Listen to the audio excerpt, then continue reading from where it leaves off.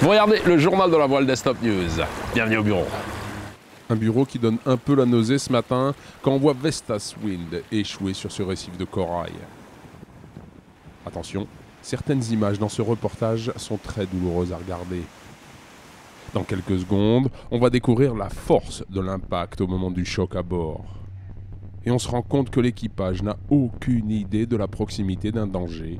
Une grosse, grosse bourde. Une erreur colossale.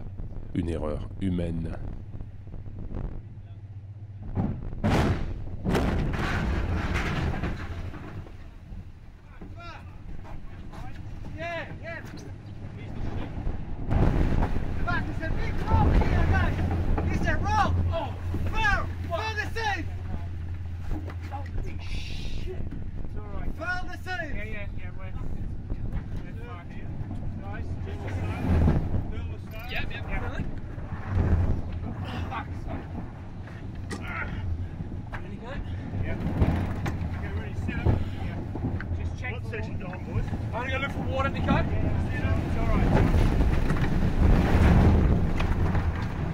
up.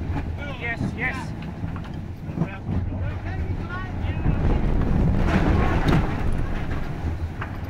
Hang on, guys.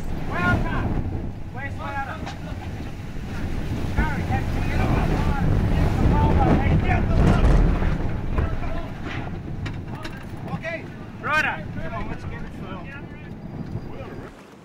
Certes, Nico et ses équipiers ont enlevé tout ce qui est facilement démontable avec leurs petits moyens du bord. L'équipage est sauf, tant mieux, c'est le principal.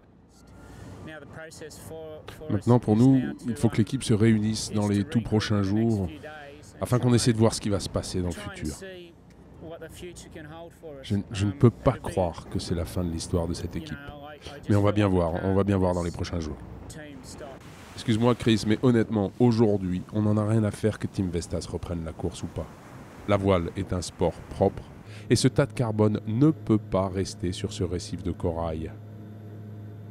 Alors Nico, en tant que skipper du bateau, ou Knut, en tant que patron de la Volvo, s'il vous plaît, dégagez cette épave de là.